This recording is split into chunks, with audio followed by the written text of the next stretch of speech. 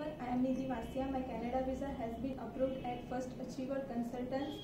I got admission in Seneca College with overall 6.5 band and in one module 5.5 band. I also had a study gap of 2.5 years but again I am thankful to Amit sir, Sankul sir and Ankul sir to helping me out during my visa process.